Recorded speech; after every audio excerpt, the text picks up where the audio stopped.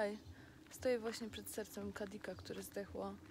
Niestety odmówił posłuszeństwa. Przejechał 2000 km ze mną w ostatnie dni. No i zaczął harczeć, warczeć o godzinie 4 rano umarł.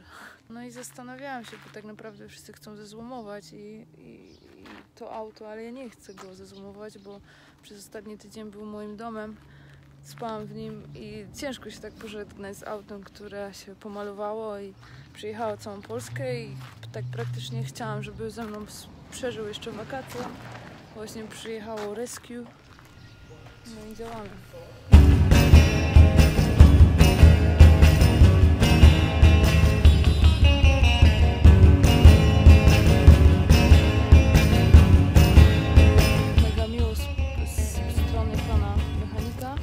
Zaproponował mi, żebym, że mnie pod sklep, że mogę sobie pohandlować majtkami. I właściwie to zastanawiam się, czy tego nie zrobić.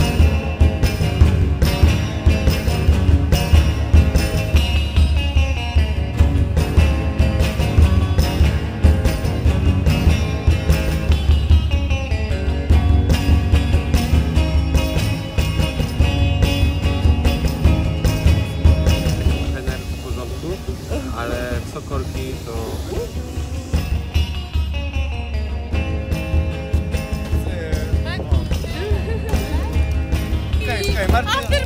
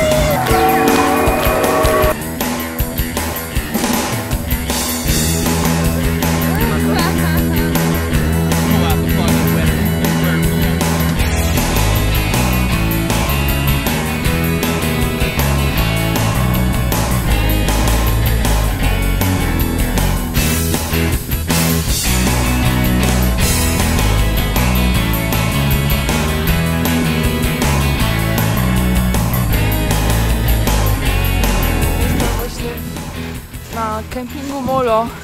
Zasłużyłam sobie tu sklepik i chciałam wam pokazać, bo to jest sklep razem z kuchnią polową.